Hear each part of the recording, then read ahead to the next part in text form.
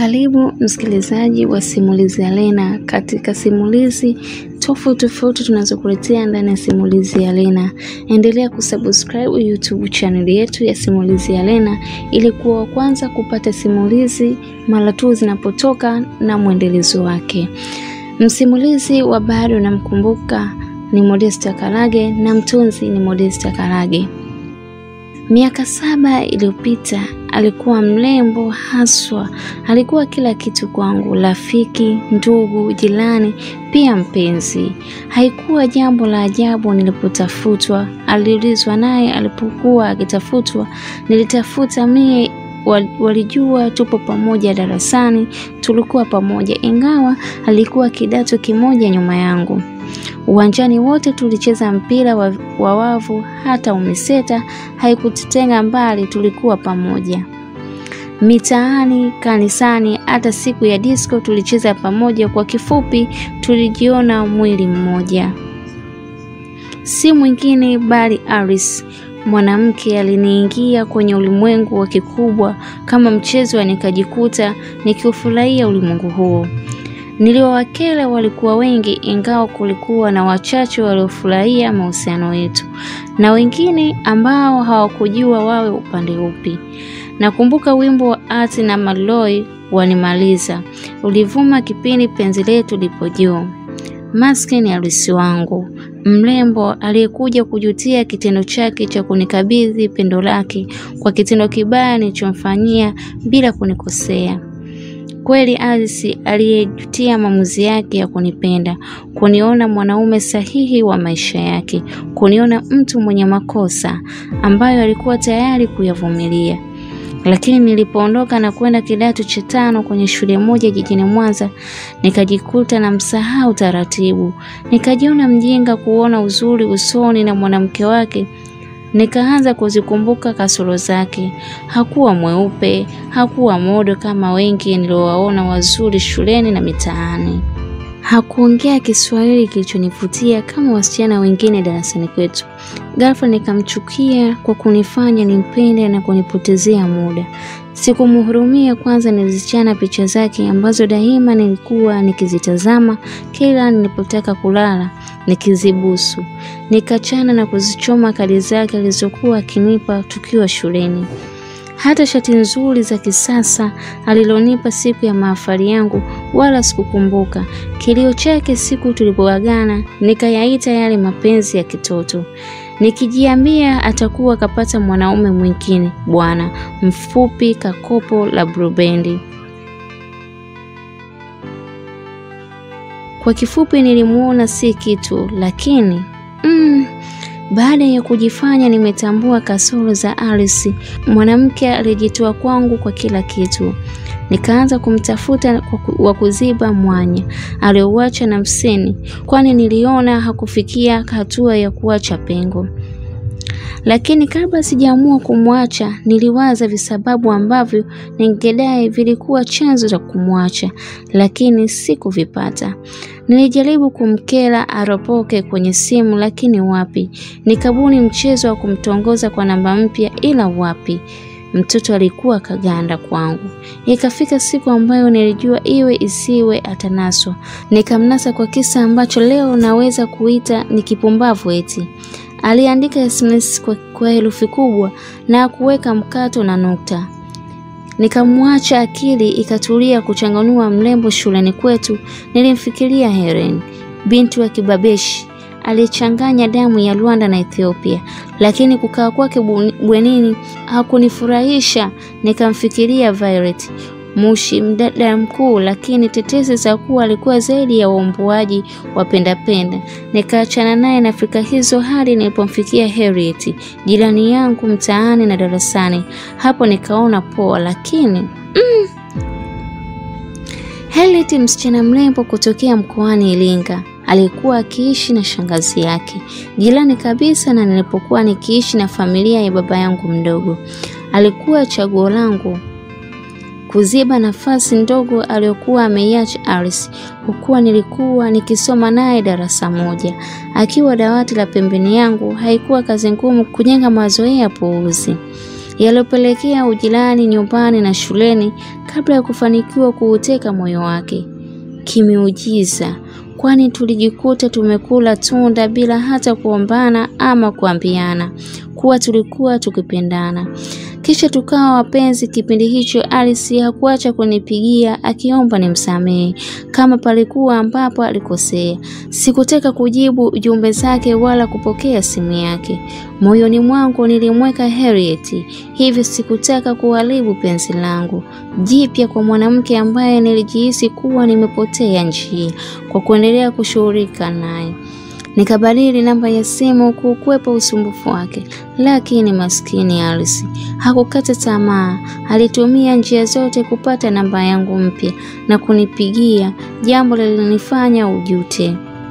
Ndiyo, alijuta, kwani siku ile nilipojua kuwa ameipata namba yangu ya simu kupitia mdogo wangu ambaye alikuwa akisoma kidato cha kwanza na katika shule aliyokuwa akisoma Alice nikaamua kumwachia simu Harriet ambaye hadi leo hii ninapoandika sijui alimwambia kitu gani, kwani niliukuta ujumbe mmoja wa neno asante kutoka kwa Alice. Sijui ni jambo gani ambalo mwanamke yule alimwambia Alice, maana hata nilipoandika ujumbe huu nakumbuka sehemu ya barua hii ambayo baada ya miaka miwili ya kukaa nayo bila kuisoma, nimeamua kuisoma na kugundua kuwa nilimtenda vibaya sana Alice, mwanamke ambaye alinipenda sana na nahisi ananipenda hadi leo huko aliko.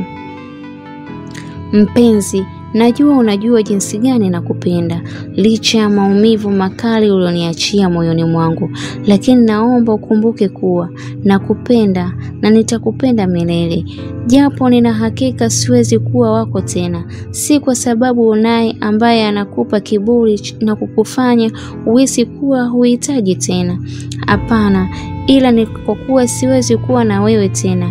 Ndiyo, siwezi, na unaweza ukajiona huhitaji kuwa na mimi na hata ikakuchukua muda mrefu hadi kuamua kuisoma hii barua, ila tambua, sitoweza kuwa na wewe tena, ingawa nakupenda na unanipenda kwa dhati. Mpenzi, unanipenda, nalijua hilo, na ndiyo maana umeamua kuisoma barua hii. Umedanganywa na uzuri wa Harriet.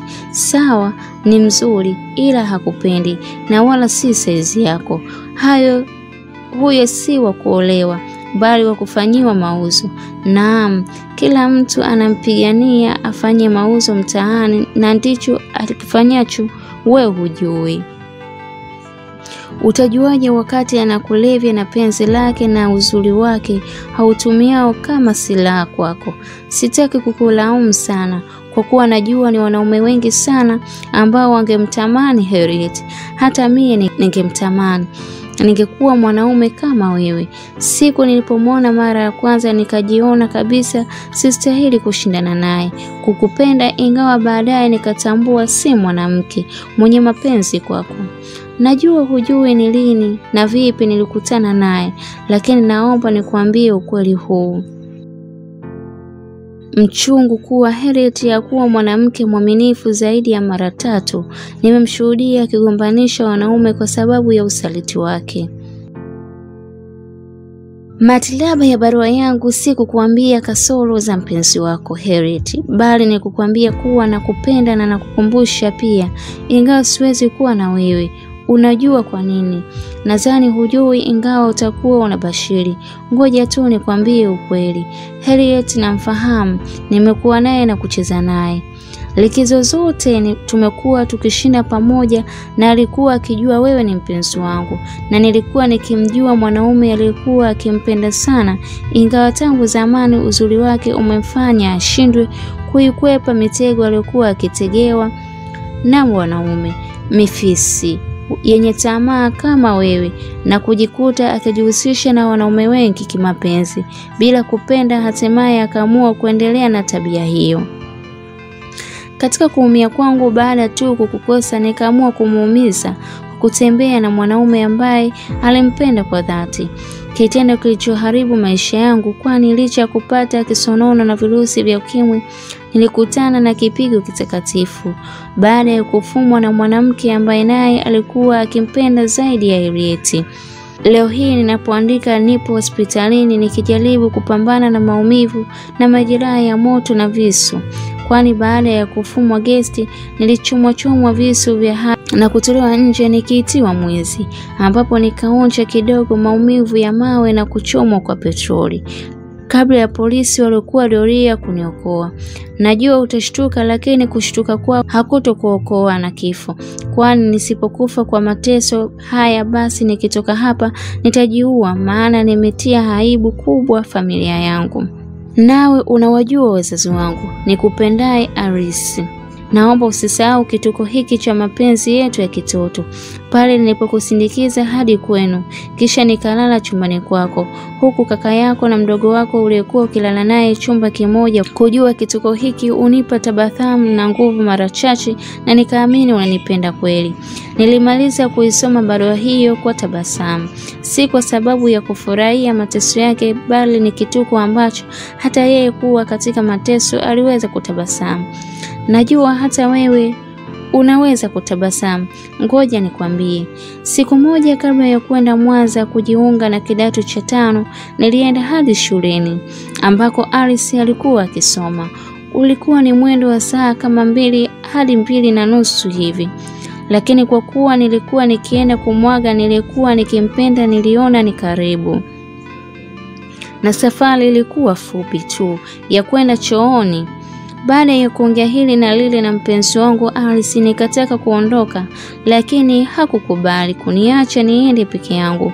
Akadai angenisindikiza kidogo, nami bila yana nikamkubalia.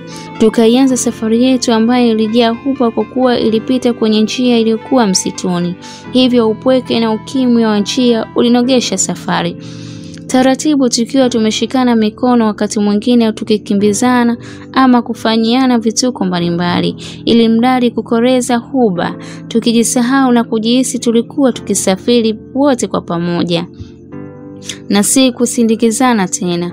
Baada ya saa tatu ambapo ilikuwa saa moja, tukajikuta tumekaribia nyumbani kwetu. He, imekuwaje tumefika huku? aliuliza baada ya kuwa hatua kama ishirini kutoka nyumbani kwetu. Sijui, nilimjibu nikitafakari cha kufanya, na sina ndugu hapa kijijini kwenu, ningezuga hata kuumwa. Aliongea huku bado nafikiria, mara tukasikia sauti nilizozifahamu. Alikuwa baba yangu akipita njia ile ile tuliyokuwa akielekea nyumbani kwa babu, huku akilalamika mie kutoonekana siku ile wakati nilikuwa na safari. Ni sauti aliyoitambua, kwani ilifanana sana na yangu. Bila kumweleza alikimbia kwenye kichaka kilichokuwa karibu, huku nikijifanya ninakimbia kuelekea nyumbani, na mara nikakutana na baba. Ulikuwa wapi? aliuliza akiwa na hasira. Nilienda shuleni, kuna mtu alikuwa na picha zangu za mahafali. Nilimjibu nikimpa kibahasha ambacho nilikuwa nikiomba Mungu asikipokee, na sijui ni Mungu ama shetani. Hakukipokea kwani kilikuwa na picha za Aristu. Hakukuwa na picha yangu hata moja. Shika huku, siku zote ulikuwa wapi? Tunakwambia mara nyingi uwe unajiandaa, lakini hadi dakika ya mwisho unatuangaisha. Nakwambia utaachwa hata siku ya Kiyama.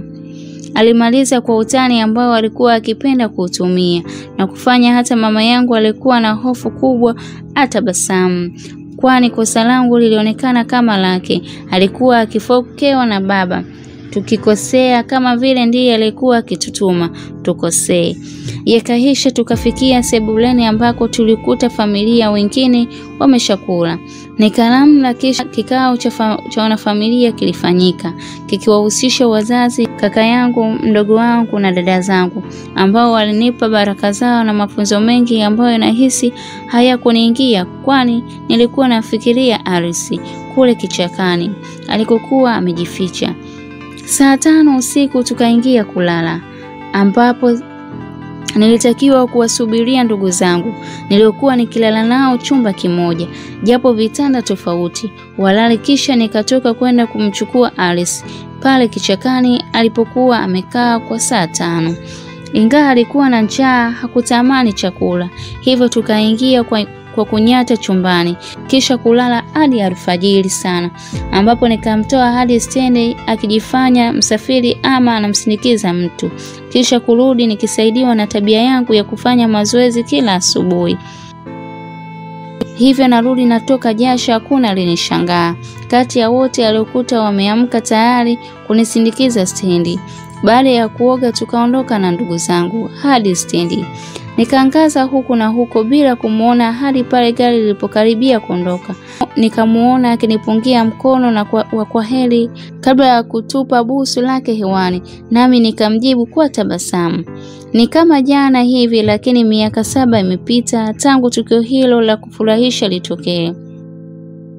Hapo nikaanza kukumbuka mambo mazuri na ya kuvutia tuliyowahi kuyafanya pamoja na Harusi. Hapo zile chembechembe za huba zikachipua tena na kujiona na mhitaji Harusi, ambaye kwa barua yake amedai alilazwa zaidi ya mwezi mzima, lakini ile barua nimeisoma miaka miwili baada ya kuipokea. Nikaamua kumpigia simu Eric ambaye kugombana naye kutokana na kukosea kunitumia meseji ya mwanaume mwingine ndiko kulinifanya nimkumbuke Alice na kuisoma barua yake ambayo niliipuuza kwa miaka miwili ikiwa ndani ya bahasha bila kufunguliwa. Alipokea simu na kuwa mkali kama kawaida yake, akinikosea akiamini kuwa ningepoa na kumwomba msamaha kama alivyozoea. Hata akikosea nikamuuliza kama alikuwa na taarifa zozote juu ya Alice. Kumbe unajua tunafahamiana naye. Pole sana Alice, alifariki mwaka juzi kwa kisa cha kusikitisha sana. Nasikia aliiba hivyo akachoma moto. Pole sana mpenzi, aliongea kwa sauti ambayo sikuelewa kama ilikuwa ya uchungu ama kebehi. Sikumbuki kama nilifanikiwa kukata simu na chozi likanitoka nikijiona mkosefu. Ni miezi miwili baada ya kuisoma ile barua na kupata taarifa juu ya kifo cha Alice, na ni siku moja tangu nitokee kuliangalia barua ya Alice ambayo sikumwambia neno lolote zaidi ya kumweleza kuwa bado namkumbuka kama yeye alivyodai kwenye barua yake kuwa ananikumbuka. Siamini Alice, kipenzi changu, bado nakukumbuka na nitakumkumbuka mwelele. Mwisho. Endelea kufuatilia na kusubscribe YouTube channel yetu ya Simulizi alena ili kuwa wa kwanza kupata simulizi zote zinapotoka na mwendelezo wa simulizi nyingine. Msimulizi wa simulizi hii bado nakukumbuka ni Modesta Karagi. Asante.